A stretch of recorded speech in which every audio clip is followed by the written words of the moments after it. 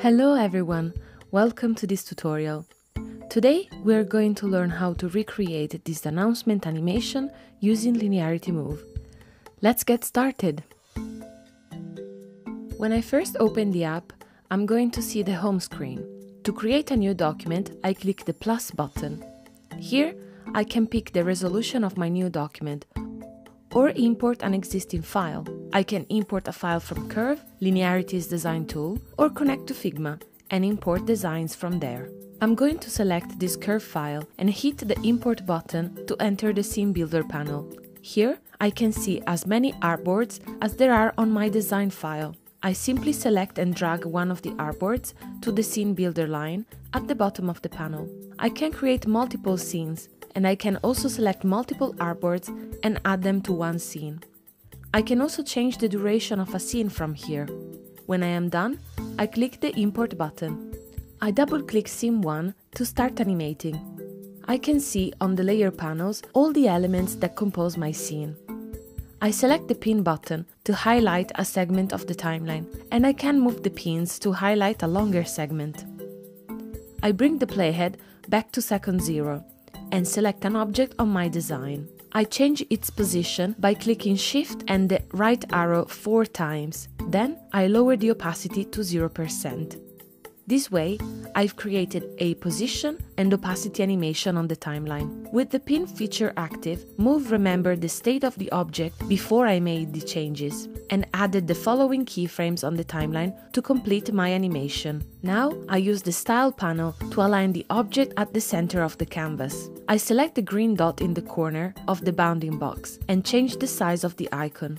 This time, I've created a position and size animation. I lower the opacity of this object to 0% and move on to the next one. I resize the oval like this by holding Option on the keyboard and lower the opacity to 0%. This animation will give the illusion of a flipping coin revealing the logo. I select the handle of the animation bar and move it along the timeline to make it the animation a bit shorter. I press the project button to go back to the scene view of my project. I double click scene 2 to continue animating. I press the pin button again to highlight one second segment of the timeline. I bring the playhead to second 0 and select all the text layers. I press shift and the bottom arrow four times and lower the opacity to 0%.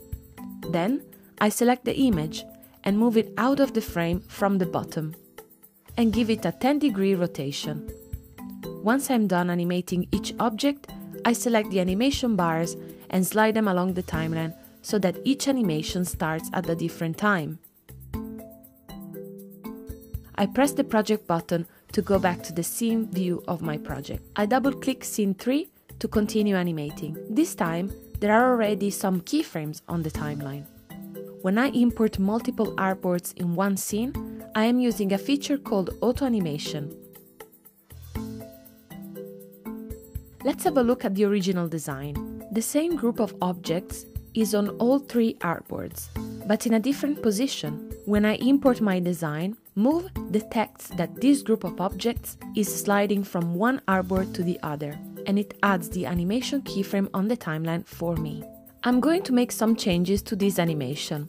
First, I move the keyframe to make the transition shorter.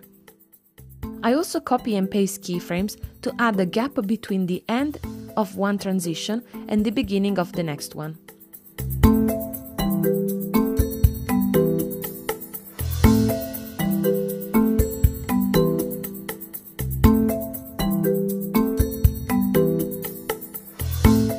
Now, I select the image inside the mask. I bring the playhead to the end of the scene and change the size of the image.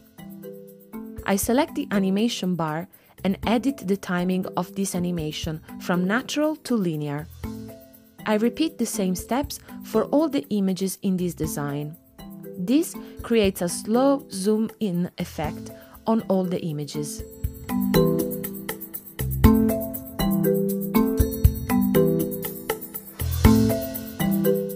Now I press the pin button and move the pins to highlight a segment from second 6 to second 8.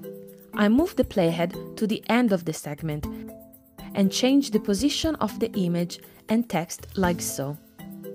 I also add a rotation of 10 degrees for the text and of minus 10 degrees for the image.